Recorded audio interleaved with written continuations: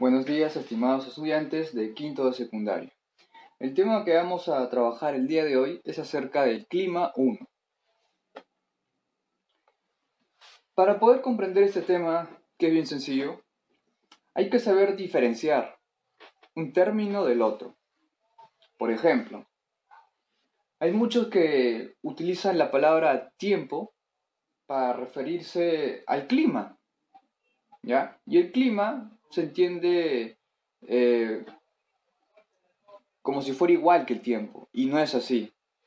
En geografía hay que saber identificar cada término. Cada término es para cierta circunstancia, o para cierto hecho, o para cierto fenómeno geográfico.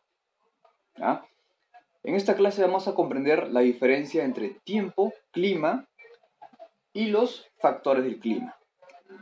Tiempo. El tiempo es a corto plazo. ¿Ok?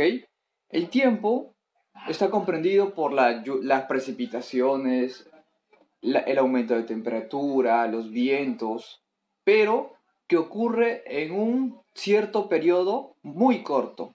¿ya? El tiempo es el conjunto de fenómenos geográficos que ocurren en un tiempo muy corto. Como por ejemplo, ya como ya acabo de explicar, la lluvia, el viento, la temperatura.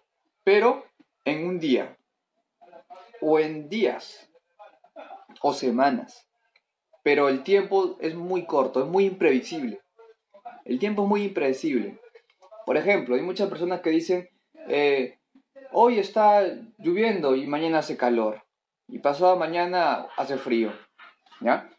Eso no es el clima, eso vendría a ser el tiempo.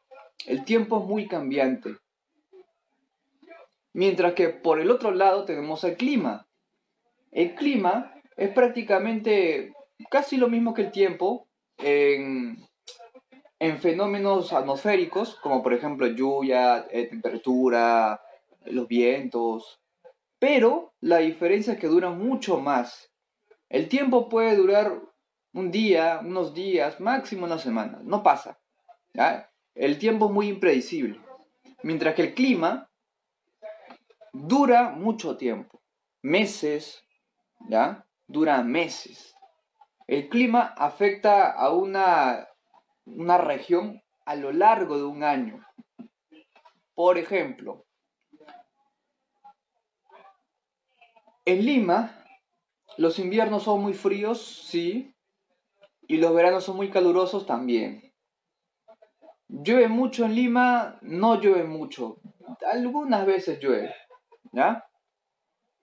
Hay zonas de la, de la hay zonas del Perú donde hace más frío que en Lima, sí, hay muchas zonas. Lima es un pequeño ejemplo de lo que vendría a ser clima.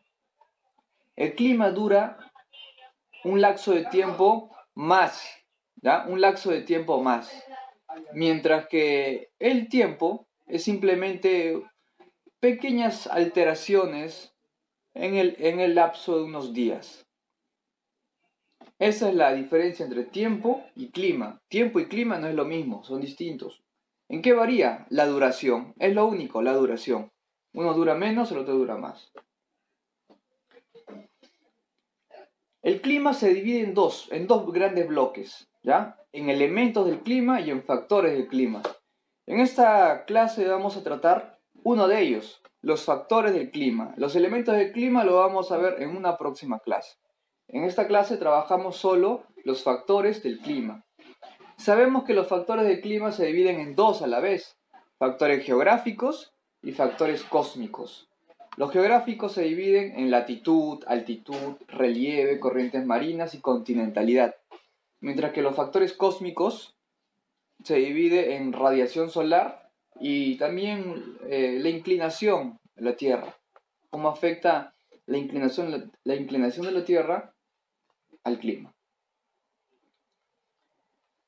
El clima se clasifica por su extensión, como por ejemplo tenemos los macroclimas, un macroclima ya afecta a pequeñas regiones, afecta, disculpen, a grandes regiones. Un macroclima sea a nivel global. Por ejemplo, eh, en los continentes. ¿ya? Un macroclima se puede aplicar a los continentes. Mientras que un mesoclima o un clima intermedio, ¿ya? Afecta a zonas un poco más pequeñas. También tenemos un clima local. El clima local afecta, pero a ciertas regiones de menor extensión.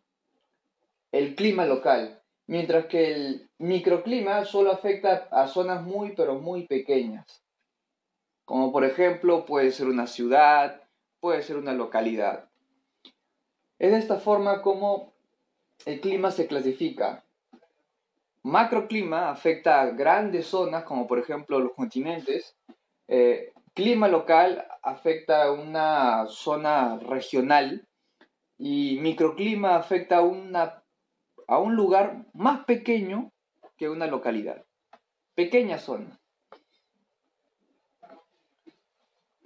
Mientras que por el otro lado tenemos a la otra clasificación del clima, de acuerdo a su latitud de acuerdo a su ubicación respecto del Sol. Sabemos que los climas de la Tierra, mientras más te alejas del ecuador terrestre, las temperaturas van disminuyendo. ¿A qué se debe esto? A la inclinación de la Tierra. A la inclinación de la Tierra. La zona central de la Tierra va a ser la que va a recibir toda la radiación del Sol, mientras que las zonas extremas, que es el Polo Norte y Polo Sur, va a recibir menos radiación. Por lo tanto, las temperaturas descienden. Vamos a ver algunas clasificaciones del clima por su temperatura y por su latitud, por su ubicación respecto a la línea ecuatorial. Tenemos, por ejemplo, la zona cálida, ¿ya? La zona cálida. ¿Por qué se caracteriza la zona cálida? Número uno, se ubica entre los trópicos de Cáncer y Capricornio, ¿ya? La zona cálida es la zona más, la palabra lo dice, más caliente, donde la radiación del sol llega en su máximo punto, y esto ocurre eh, durante casi todo el año. Esta zona se mantiene cálida durante prácticamente casi todo el año. La zona cálida se divide a la vez en clima ecuatorial y en clima tropical. El clima ecuatorial presenta la, la mayor cantidad de temperatura, ¿ya? Hay altas temperaturas y llueve mucho producto de, del incremento de la temperatura, hace que llueva mucho. El agua, ya sea ubicada en el continente o en el mar, se evapora y genera esto lluvias. Es altamente lluvioso. Mientras que el clima tropical, también hay altas temperaturas, ¿ya? Pero, pero vendría a ser un lugar seco, ¿ya? Clima tropical, alta temperatura, pero es una zona seca donde llueve muy poco, ¿ya? Y también hay otras zonas donde llueve, pero igual sigue siendo poco a diferencia del clima ecuatorial. Las zonas templadas, ¿entre dónde se sitúan? Entre las zonas frías y la zona cálida. La zona templada es como un intermedio. Ni es frío, ni es cálido. ¿Ya? O sea, hace ligeramente frío y ligeramente cálido. Por lo tanto, la zona templada se da en el hemisferio norte y en el hemisferio sur. ¿ya? En estas zonas templadas los, los climas van a, van a alternar. ¿ya? Por ejemplo, tenemos el clima mediterráneo, donde los veranos son muy calurosos y secos y en invierno las temperaturas son suaves. O sea, no hace tanto frío. Veranos muy calurosos, mucho calor. Y en invierno las temperaturas son moderadas. No hace, un frío extremo como si lo hace en la zona norte, en la zona polar. Las lluvias en el clima mediterráneo no son tan, no son, tan inmensas, o sea, no hay tanta cantidad de lluvia. Es moderado. El otro tipo de clima es el clima oceánico o atlántico. Aquí sí es característico las abundantes lluvias, ¿ya? Y la temperatura no es tan caliente, se mantiene, ya se mantiene, ni, ni tanto frío ni tanto calor. En el clima continental, los inviernos iban a ser muy fríos y los veranos van a ser muy calurosos. ¿Ya? ¿A qué se debe esto? A que se encuentra lejos del mar. Y nos preguntamos, ¿qué tiene que ver el mar con la temperatura? Mucho. No olvidemos que el agua tiene la propiedad de absorber radiación, de contener calor. En el día, ¿ya? En el día, el agua contiene el calor y en la noche libera ese calor. Por lo tanto, el clima continental no es cálido, es frío. ¿Por qué? Porque no está el mar que va a regular la temperatura en la zona. Por lo tanto, los inviernos van a ser muy fríos y los veranos van a ser muy calurosos. Las lluvias van a ser escasas. ¿ya? Tenemos las zonas frías, o también llamado eh, de forma general clima polar. Las zonas frías se ubican en el polo norte y en el polo sur, y en zonas de alta montaña.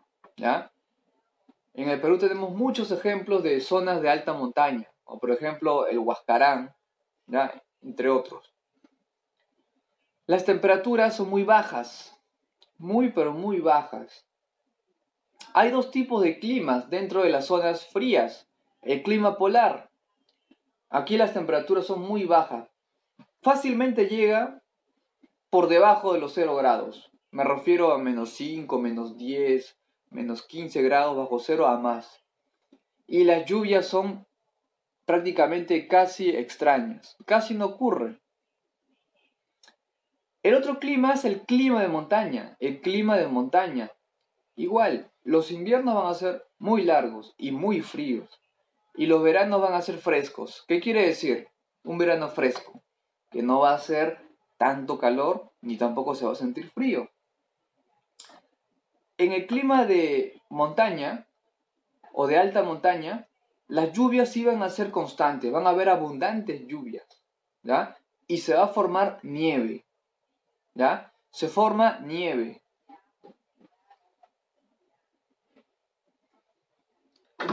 Tenemos la clasificación según Köppen. ¿Qué nos dice Köppen? ¿Cómo se clasifican los climas a nivel mundial? Aquí lo estamos clasificando por temperatura y por precipitación. Observemos. El clima tropical los climas tropicales o lluviosos tropicales.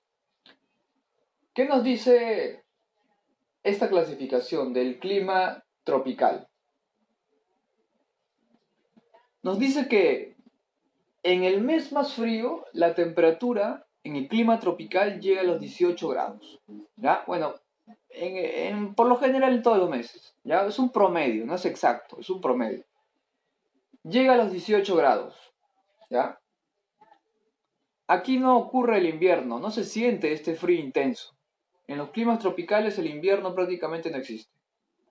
Pero sí llueve mucho, llueve mucho y como resultado de, del aumento de temperatura en esta zona, el agua, ya sea en el continente o en el mar, se evapora. Y por este motivo comienza a llover. El agua que se evapora se va a las nubes y luego comienza a llover. Los climas secos. ¿Qué ocurre aquí?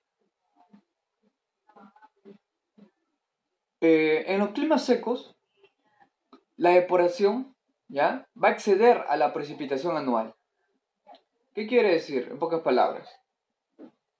Que va a haber poca cantidad de agua. Se evapora el agua pero esta agua no se transforma en nube y por lo tanto no hay lluvias. Los climas secos carecen de lluvias. ¿Por qué? La poca agua que se encuentra en el clima seco se evapora y el problema es que no se transforma en nube, ¿ya?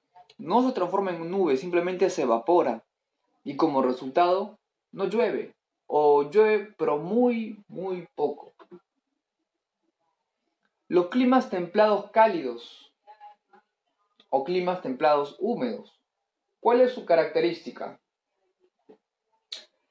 Eh, el promedio ya del mes más frío va a ser de 18 grados hasta los menos 3 grados bajo cero. En el mes más frío. En el mes más cálido, la temperatura puede llegar de 10 grados a más. ¿Ya? Estos climas templados, cálidos, eh, son cálidos en ciertas estaciones y son muy fríos en otras estaciones. Nos referimos a otoño e invierno. Y cálido, primavera, verano. Aquí sí hay una diferencia de climas, de temperaturas. Aquí hay una diferencia de temperaturas. El siguiente clima, los climas de nieve, o también llamado clima polar. ¿Qué ocurre? La temperatura media, ¿ya? Del mes más frío es de menos 3 grados bajo cero. ¿Ok? O sea, de menos 3 grados a más, pero negativamente, o sea, hace mucho frío. Y en el mes más cálido la temperatura puede llegar aproximadamente a 10 grados o un poquito más. ¿Ya?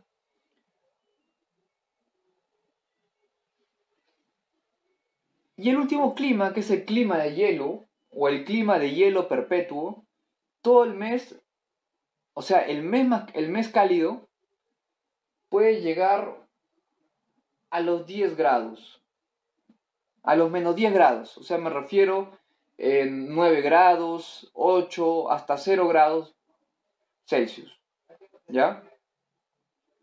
Pero aquí la temperatura promedio en los meses eh, restantes, que no son cálidos, es de 0 grados hasta menos, puede llegar 15, 20, 30, o quién sabe, hasta 40 grados bajo cero. El clima de hielo perpetuo es constante. Son muy pocos meses cálidos. La mayoría de meses son muy fríos. Las temperaturas son extremas. Que fácilmente pasan los menos 10 grados bajo cero. Fácilmente pasa esa temperatura. Esta es la clasificación de del clima según Hopping. ¿Cuáles son los factores del clima que influyen en la temperatura? Por ejemplo, la latitud. ¿Ya? ¿Qué tiene que ver la latitud con la temperatura? Uno, lo vemos desde el punto de vista cósmico. ¿Ya? ¿Qué ocurre? La forma esférica de la Tierra tiene que ver mucho cómo los rayos del Sol inciden en la Tierra y en la temperatura. ¿Ya? Si la Tierra fuera una esfera perfecta y si la Tierra no tuviera esta inclinación y estuviera en 90 grados ya inclinación, todos los puntos de la Tierra recibirían la misma cantidad del Sol, de radiación solar. Pero resulta que la Tierra no es una esfera perfecta y que la Tierra está inclinada unos 23 grados y varios minutos más. Esta inclinación hace que la Tierra reciba de forma desigual la radiación solar y como resultado las temperaturas van a variar. ¿El movimiento de traslación también actúa o influye en la temperatura? Sí, y mucho. La Tierra, al estar desplazándose alrededor del Sol, va a tener puntos donde se va a acercar más al Sol y donde se va a alejar más del Sol. Los famosos perihelio, más cerca al Sol, y afelio, más lejos al Sol. Cuando se acerca más, se van a dar las estaciones que conocemos, primavera, verano. Y cuando la Tierra se va a alejar más en afelio, vamos a tener las estaciones extremas, que es eh, el invierno y un poquito por debajo el otoño. Así que la forma, la forma de la Tierra, el movimiento de traslación y la inclinación de la Tierra tienen que ver mucho con la temperatura. y como resultado crean las estaciones. ¿Qué son las estaciones? Son meses en los que la temperatura se mantiene constante. O hace mucho calor o hace poco calor. Aquí podemos ver con el, con el, dibujo, con la imagen, lo que acabo de explicar. La Tierra ya no es una esfera perfecta, pero por fines didácticos se le da esta forma, y la Tierra está inclinada. ¿ya? está inclinada y esto hace que la radiación no llegue de la misma forma a todos los puntos de la Tierra, La zona ecuatorial va a ser la zona donde la temperatura va a ser extrema, mientras que las zonas más alejadas del punto de radiación, que es el polo norte y el polo sur, las temperaturas van a disminuir. Otro factor del clima es la altitud. La regla es la siguiente, hay una regla respecto a la altitud. Conforme tú vas subiendo, vas a mayor altitud o te encuentras en, una mayor altitud, la temperatura desciende. ¿Cuánto? Aproximadamente 6 grados Celsius. Cada mil metros que tú vas ascendiendo, ¿ya? Desde el continente o desde el nivel del mar hasta la parte de arriba, cada mil metros, la temperatura disminuye 6 grados Celsius.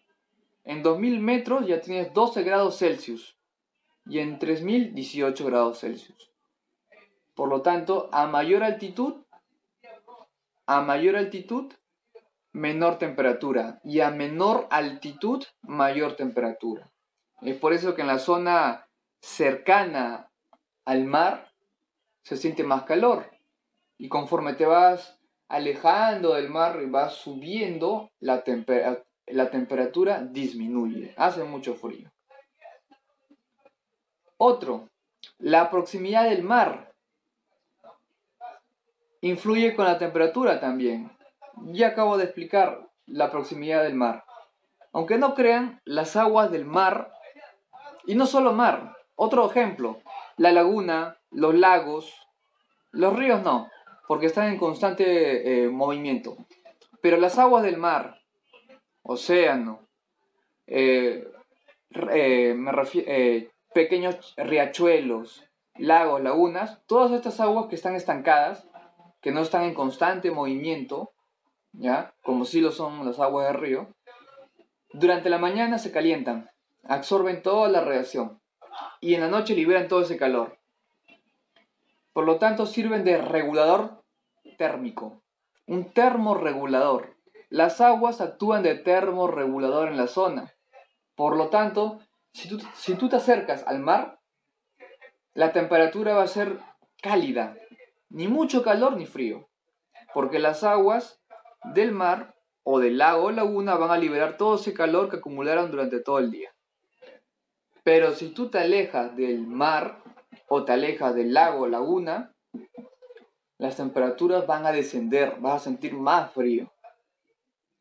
Sabemos que los mares, los océanos se calientan y se enfrían, pero se enfrían muy lento. ¿Ya? Por eso en verano, en la noche, se siente el calor a pesar que estás, a pesar que es de noche, se siente el calor. ¿Por qué? Durante toda la mañana, en verano, las aguas absorbieron toda la radiación y en la noche van liberando ese calor de poco. Mientras que en invierno eh, también el agua se va a calentar, no tanto como en verano, pero se va a calentar ligeramente y en la noche no se va a sentir tanto frío. Sí va a ser frío, pero no tanto. Más lejos del continente, más frío. Más cerca a un continente, menos frío, por la capacidad del agua que tiene de absorber calor. Otro factor que influye en el clima, pero ahora nos referimos a las lluvias, a las precipitaciones, es la latitud. ¿Qué es la latitud? La latitud es el punto eh, respecto al ecuador terrestre. ¿Ya? Por ejemplo, tenemos la zona ecuatorial, ¿ya? Donde va a haber bajas presiones y va a llover constantemente todo el año. Tenemos la zona intertropical, que tiene influencia con los vientos alisios. Por lo tanto, en invierno llueve poco, ¿ya? Y en verano va a llover un montón. Tenemos la zona tropical, donde prácticamente todo el año, ¿ya? Va a haber una sequía permanente, ya que los vientos ciclónicos subtropicales no van a llegar. Van a haber vientos anticiclónicos subtropicales. Esto hace que en vez de que llueve, ocurra sequía. La, tenemos la zona templada, ¿ya?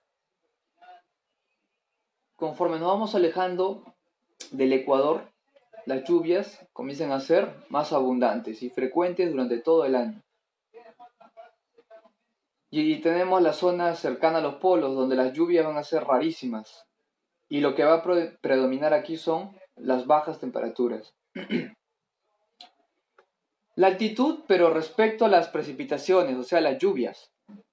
¿Cómo afecta la altitud a las lluvias?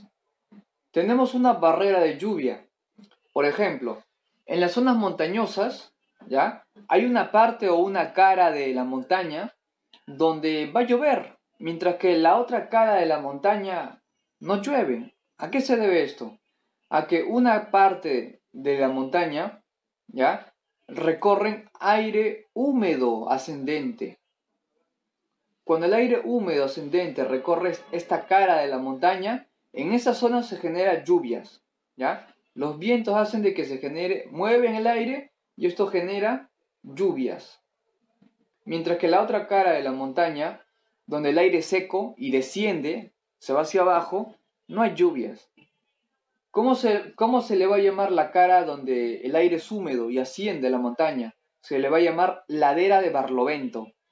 Mientras que la otra zona, la otra cara de la montaña, donde el aire es seco y desciende, se le va a llamar ladera de Sotavento. ¿Aquí influye mucho la altitud? Sí. ¿Por qué? El aire húmedo, ya este aire húmedo, va a ser forzado a elevarse. Y esto va a generar muchas nubes. Y esto a la vez genera que llueva. Mientras que el aire seco que desciende de la montaña y que ya perdió la humedad, se va a reposar en la zona de la ladera. Y como resultado va a haber un clima cálido y seco. Es por eso que las montañas van a actuar como una barrera para la lluvia. Es por ese motivo que los vientos, es por eso que en el Perú no se crean vientos huracanados, porque tenemos la cordillera de los Andes que nos protege de esos vientos, nos protege que los aires fríos o el aire frío o húmedo y el aire cálido se junten y generen este gran remolino de viento llamado huracán. Las montañas la cordillera de los Andes actúan como una barrera para que no se generen los huracanes. Y también las montañas actúan de barrera para que una parte de la montaña no sea lluviosa y sea seco, mientras que la otra cara de la montaña sí va a ser lluvioso. Ya había explicado cómo la proximidad del mar afecta en las lluvias. Si tú estás más cerca a un océano o al mar, es común que existan o se generen lluvias en un, día eh, caluroso. Es común. Más cerca al mar, más probabilidad de que llueva. Muy bien, eso sería todo por esta clase. Espero que haya quedado claro la explicación. Nos vemos en una siguiente ocasión. Chao.